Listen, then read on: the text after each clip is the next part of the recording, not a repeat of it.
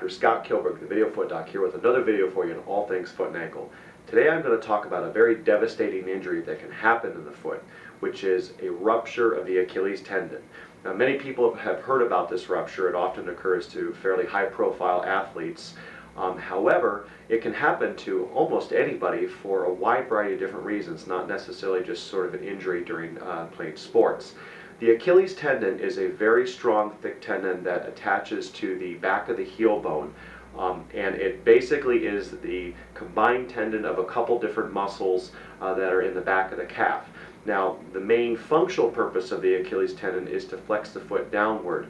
But what it really does is it helps to resist the force of the ground pushing the foot upward when you're actually stepping onto the ground itself.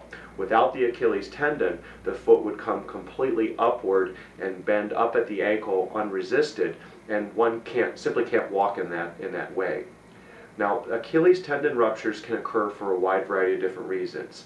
Uh, the most common type of scenario is when there is a significant force being applied to the foot to bend it upward at the ankle while the calf muscles are actively trying to contract or push the, uh, the foot downward.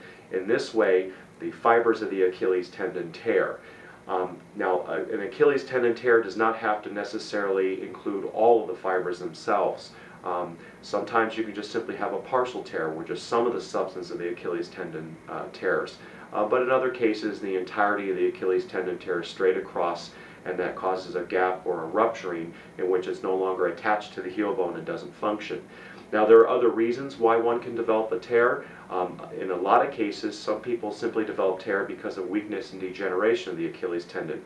When you have long-standing Achilles tendonitis that may be compounded by the presence of heel spurs uh, or other irritating uh, things on the Achilles tendon itself, um, the tendon fibers can become uh, worn out, they can become degenerative, and often a rupture can occur uh, in an area that's a little bit above where the Achilles tendon attaches on the heel bone, in an area where there's poor blood flow already and the tendon is weaker there to begin with. And so simply by walking or standing with a uh, tendon that's sort of degenerative, you can actually rupture it with, uh, with a very uh, simple uh, injury pattern. It doesn't take much to do that once it's already degenerated. Now this doesn't occur in most cases of Achilles tendonitis, but it is a possibility. Uh, other things that can cause ruptures in, include uh, the use of steroid injections uh, in and around the Achilles tendon, as well as certain medications, including a class of antibiotics called fluoroquinolones, which can cause potential tendon rupturing. Now, treatment for Achilles tendon ruptures or, or tears uh, is uh, very important because you need to reestablish the actual connection of the Achilles tendon uh, to either the ruptured end or to the bone itself if it is pulled off of, of the heel bone. Uh, now often this will involve surgery and what surgery does is uh, surgery accomplishes this by going in and uh, directly repairing the torn fibers together with some stitches and uh, sometimes other things are also necessary including uh, certain types of graft materials that may be needed to strengthen the tendon and allow it to heal uh, stronger and less likely, likely to tear again or become degenerative. Now this is best accomplished when the tear is fresh However, there are certain circumstances in which it's not recognized early enough uh, or surgery can't proceed because of other health issues. And what will happen is, is that that tendon will actually start to retract further back in the calf. Uh, scar tissue can also form and it makes repair much more difficult because you cannot simply pull that retracted tendon back down um, into uh, the, the heel area to be able to sew it back onto the stump that, that it was ruptured off of. Uh, so in those cases, other techniques need to be employed, such as lengthening of the uh, general tendon itself or lengthening of some of the uh, fibers that attach the tendon to the muscle belly above it uh, to allow for the tendon to be able to have enough length to repair it uh, back to itself. Um, if that's not possible, other graft tissue may be necessary to um, sort of repair and sort of create sort of an almost, not quite an artificial tendon, but sort of recreate the length of the tendon using other material that then heals together with the tendon itself. Um, this can include material from the Achilles tendon on its own or, or tendons uh, found elsewhere uh, in that vicinity uh, or even artificial material uh, and uh, even grafts uh, from cadaver tendon as well.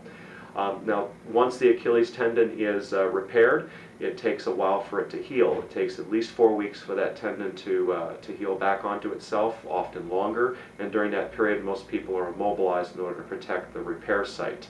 Um, now the consequences of not repairing an Achilles tendon and sort of leaving it in, in its torn position can be pretty significant. Um, as I said before, one really has a great difficulty with being able to walk without having the uh, Achilles tendon intact and the heel becomes much more prominent uh, during the walking uh, or during the walking cycle or the pattern that one has when they walk.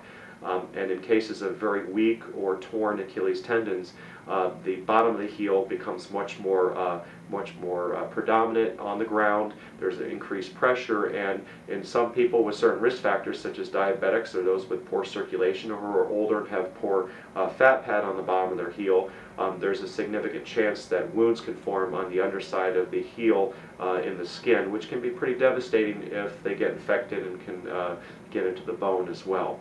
So it is very important that the Achilles tendon is repaired if it is ruptured, um, not only uh, just to be able to restore function to the foot, but also to protect uh, the heel from further damage that can occur um, uh, because of the lack of the tendon uh, function itself. Well, I hope you enjoyed this video. Please look for more videos on all things foot and ankle on this site, as well as others, or you may check out my website at www.inpodiatrygroup.com. Thank you.